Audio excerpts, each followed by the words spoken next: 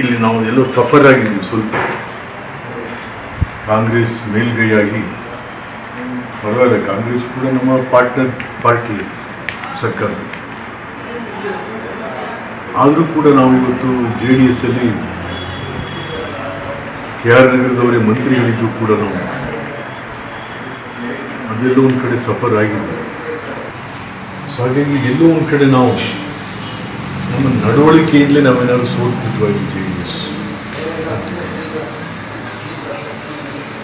ಮತ್ತು ಕೆಲವು ಜಾತಿಗಳನ್ನ ನೇರವಾಗಿ ಧಿಕ್ಕರಿಸಿ ಅವ್ರ ಮನಸ್ಸಿಗೇನಾದರೂ ಕೂಡ ನಾವು ನೋವು ಮಾಡಿಬಿಟ್ಟು ಆದರೆ ಇಲ್ಲಿ ಕೆಲವು ಸಮಾಜಗಳನ್ನ ಎಲ್ಲೂ ನಾವು ಧಿಕ್ಕರಿಸ್ಬಿಟ್ಟುವಾಗಿ ಚುನಾವಣೆ. ಜೆ ಡಿ ಎಸ್ ಪಾರ್ಟಿ ಇಲ್ಲಿ ನಾವು ಎಲ್ಲೋ ಸಫರ್ ಆಗಿದ್ದೀವಿ ಸ್ವಲ್ಪ. ಕಾಂಗ್ರೆಸ್ ಮೇಲ್ಗೈಯಾಗಿ.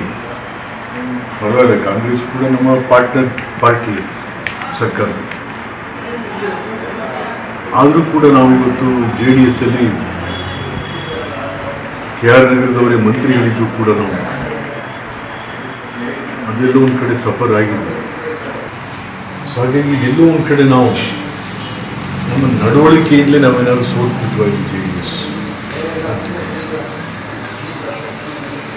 ಮತ್ತು ಕೆಲವು ಜಾತಿಗಳನ್ನ ನೇರವಾಗಿ ಧಿಕ್ಕರಿಸಿ ಅವ್ರ ಮನಸ್ಸಿಗೇನಾದರೂ ಕೂಡ ನಾವು ನೋವು ಉಂಟು ಆದರೆ ಇಲ್ಲಿ ಕೆಲವು ಸಮಾಜಗಳನ್ನ ಎಲ್ಲೋ ನಾವು ಧಿಕ್ಕರಿಸ್ಬಿಟ್ವಾ ಈ ಚುನಾವಣೆಯಲ್ಲಿ.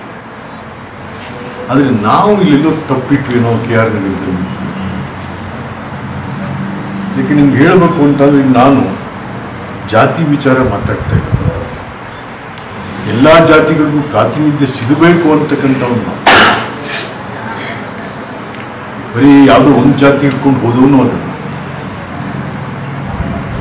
ಹಾಗಾಗಿ ಎಲ್ಲ ಜಾತಿಗಳ ಜನ ಕೆ ಆರ್ ನಗರದಲ್ಲಿ ಕುರುಬ ಸಮುದಾಯದವರು ಕೂಡ ಜೆ ಡಿ ಎಸ್ ಪಾರ್ಟಿ ಇಲ್ಲಿ ನಾವು ಎಲ್ಲೋ ಸಫರ್ ಆಗಿದ್ದೀವಿ ಸ್ವಲ್ಪ. ಕಾಂಗ್ರೆಸ್ ಮೇಲ್ಗೈಯಾಗಿ ಪರವಾಗಿಲ್ಲ, ಕಾಂಗ್ರೆಸ್ ಕೂಡ ನಮ್ಮ ಪಾರ್ಟ್ನರ್ ಪಾರ್ಟಿ ಸರ್ಕಾರ.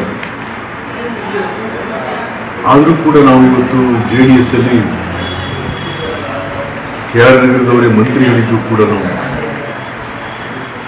ಅದೆಲ್ಲೋ ಒಂದು ಕಡೆ ಸಫರ್ ಆಗಿದೆ ಸೊ ಹಾಗಾಗಿ ಎಲ್ಲೋ ಒಂದು ಕಡೆ ನಾವು ನಮ್ಮ ನಡವಳಿಕೆಯಿಂದಲೇ ನಾವೇನಾದ್ರು ಸೋತ್ಬಿಟ್ವಾಗಿ ಜೆ ಡಿ ಎಸ್ ಮತ್ತೆ ಕೆಲವು ಜಾತಿಗಳನ್ನ ನೇರವಾಗಿ ಧಿಕ್ಕರಿಸಿ ಅವ್ರ ಮನಸ್ಸಿಗೇನಾದರೂ ಕೂಡ ನಾವು ನೋವು ಮಾಡಿಬಿಟ್ಟು ಆದರೆ ಇಲ್ಲಿ ಕೆಲವು ಸಮಾಜಗಳನ್ನ ಎಲ್ಲೋ ನಾವು ಧಿಕ್ಕರಿಸ್ಬಿಟ್ವಾ ಈ ಚುನಾವಣೆಯಲ್ಲಿ. ಆದರೆ ನಾವು ಇಲ್ಲೆಲ್ಲೋ ತಪ್ಪಿಟ್ವೇನೋ ಕೆ ಆರ್ ನಗರದಲ್ಲಿ ಯಾಕೆ ನಿಮ್ಗೆ ಹೇಳಬೇಕು ಅಂತಂದ್ರೆ ನಾನು ಜಾತಿ ವಿಚಾರ ಮಾತಾಡ್ತಾ ಇದ್ದೀನಿ. ಎಲ್ಲ ಜಾತಿಗಳಿಗೂ ಪ್ರಾತಿನಿಧ್ಯ ಸಿಗಬೇಕು ಅಂತಕ್ಕಂಥವನ್ನ. ಬರೀ ಯಾವುದೋ ಒಂದು ಜಾತಿ ಇಟ್ಕೊಂಡು ಹೋದವನು ಅಲ್ಲ ಹಾಗಾಗಿ ಎಲ್ಲ ಜಾತಿಗಳ ಜನ ಕೆ ಆರ್ ನಗರದಲ್ಲಿ ಕುರುಬ ಸಮುದಾಯದವರು.